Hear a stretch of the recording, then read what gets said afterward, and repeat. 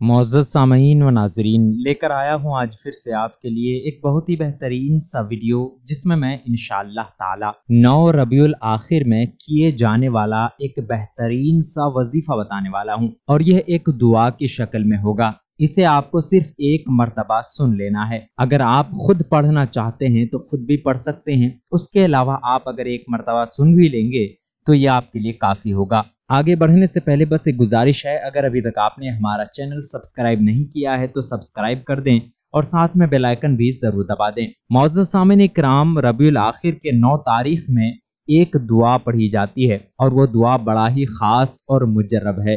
अगर कोई इंसान इस दुआ को पढ़ ले तो अल्लाह तबारक व ताली बेशुमार नियमतें उसे आता फरमाता है। खातून जन्नत हज़रत फातिमा जहरा अल्लाह तहा फरमाती हैं कि जिस साहिब तब पर बखलूस ये दुआ पढ़ी जाएगी, उसको बहुत जल्द नफा होगा और जो शख्स इस मुबारक दुआ को अपने पास रखेगा, तमाम उमूर में बेहद मुफीद पाएगा। यानी कोई अगर बीमार है तो अल्लाह तबारक व ताली उसे शिफा अता फरमाएगा। यानी अगर एक मरतबा इस दुआ को पढ़कर खुलूस के साथ उस पर दम कर दी जाए तो बीमार शिफायाब हो जाएगा।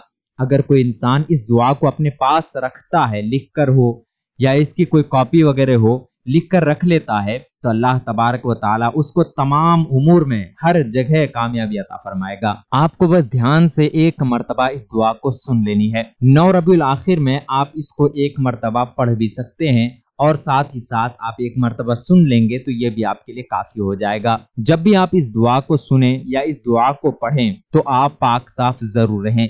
इनशाला ताला इससे आपको ज़्यादा फ़ायदे हासिल होंगे। अगर आप वज़ू में नहीं है तो वज़ू कर लें।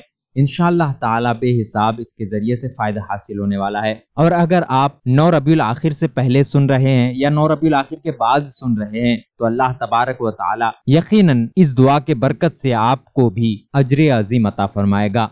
अब दुआ सुनते चलिए, और अगर हो सके तो आप खुद भी दिल ही दिल में पढ़ने की कोशिश कीजिए। बिस्मिल्लाहिर्रहमानिर्रहीम, बिस्मिल्लाहिन्नूर, बिस्मिल्लाहिन्नूरिन्नूर, बिस्मिल्लाहिन्नूरी।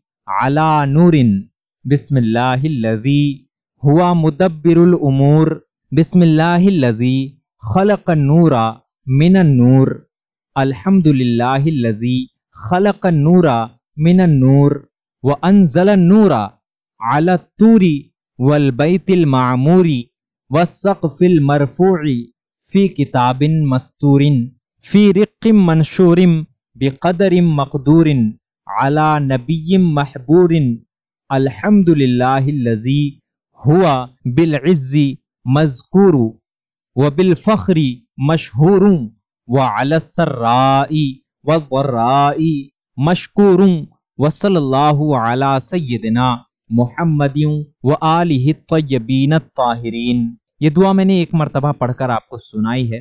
आप एक मरतबा भी पढ़ सकते हैं, तीन मरतबा भी पढ़ सकते हैं, सात मरतबा भी पढ़ सकते हैं, नौ मरतबा भी पढ़ सकते हैं। जितने ज़्यादा आप पढ़ेंगे, उतनी ज़्यादा बरकतें आपको हासिल होंगी।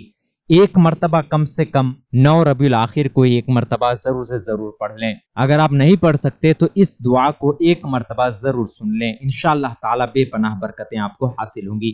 उम्मीद है आप सभी को हमारा ये वीडियो पसंद आया होगा। अच्छी लगी हो तो लाइक कर दें।